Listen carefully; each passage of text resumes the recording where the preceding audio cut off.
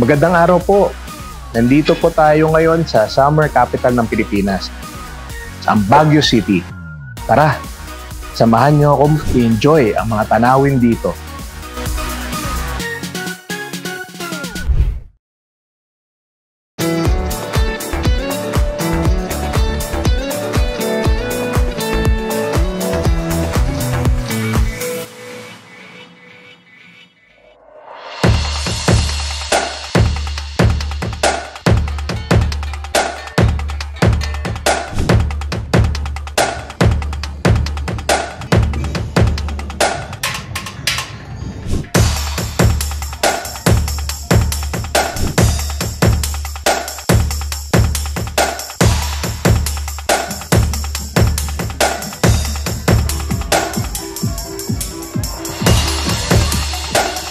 Magandang araw po, nandito po ako sa Baguio City para sa Panagbenga Festival. At nandito po ako para suportahan ang ah, National Authority on Child Care. Ay makikita nyo po sa likod, ah, puro floats at marami pong flowers. Kaya flower festival po ito. Alam niyo po ba na ito ay nagsimula noong February 1996 bilang Baguio Flower Festival. It was first proposed to boost the tourism of the city during the off-season.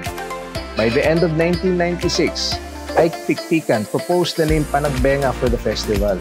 Ito po ay isang Kankanay term which means a season of blossoming or a time for flowering.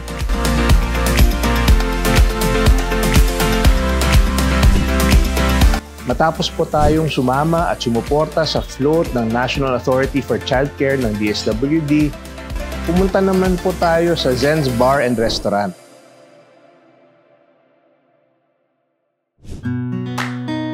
Ngayon naman po, itatry po natin itong mga strawberry dishes nila.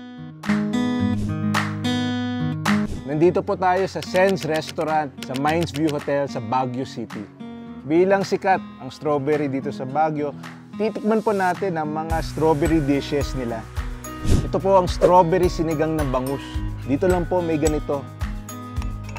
Kitang kita po yung strawberry sa sinigang nila. Ngayon lang po ako nakakita ng sinigang na may fresh strawberry.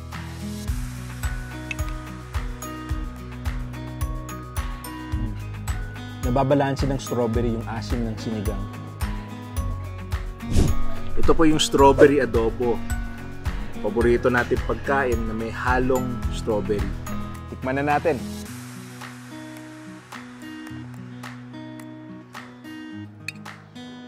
Siyempre, hindi pwedeng walang kanin ang adobo.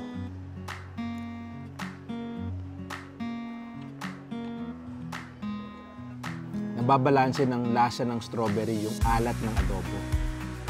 Sa mga mahilig naman sa pork, meron pong pork strawberry sinigang.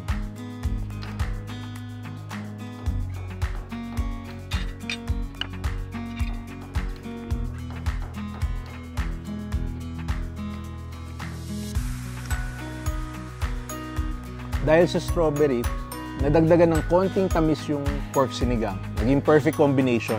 Definitely, must try itong dish na to. Ang tawag po sa dessert nila ay bibing crepe. Ito po ay bibingka na may halong crepe. Ito po ang best seller nila, yung corn cheese flavor. Masarap dahil crispy yung crepe, matamis, pero bumabalanse sa cheese at sa corn.